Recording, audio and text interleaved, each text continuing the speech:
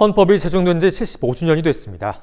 마지막 개헌이 1987년, 지금으로부터 36년이 지났는데요.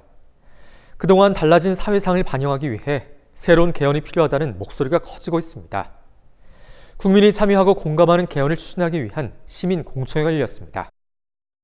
정말 이제 세계적인 경제 강국이 됐고 그리고 또 이제 많은 부분에 있어서 많은 놀라운 성과를 이루었는데 사실 법은 그러한 요구를 받아들이지 못하고 있죠. 사회의 멀어진 간극을 좀 메워줄 수 있도록 뭔가 헌법에 대한 개헌이 좀 필요하지 않을까라는 생각은 하고 있습니다.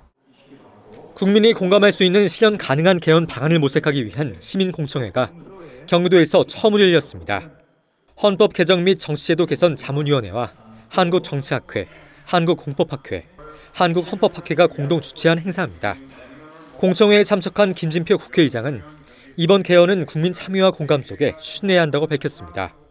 이제 국민의 공론을 모아내는 새로운 방식의 개헌을 추진할 때입니다.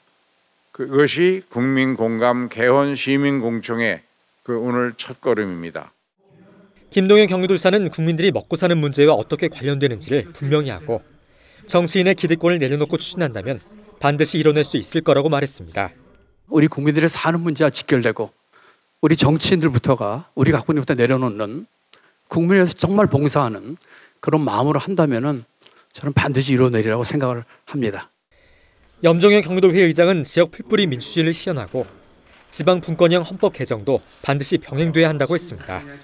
단 두 개의 헌법 조문만으로 어, 지방 자치를 규정하기에는 실질적으로 자치와 분권에 대한 제도적 수요를 충족하기에는 대단히 한계가 있습니다. 공청회에서는 개헌 과정에서 국민 참여와 상시적이고 단계적으로 개헌 절차를 도입하기 위한 개헌 절차법 제정이 논의됐습니다. 경기도에서 첫 시작을 알린 국민공감 개헌 시민공청회는 오는 26일까지 춘천과 세종, 대구, 부산, 광주 등 전국을 순회하며 열릴 예정입니다. 경기슈 TV 최창순입니다.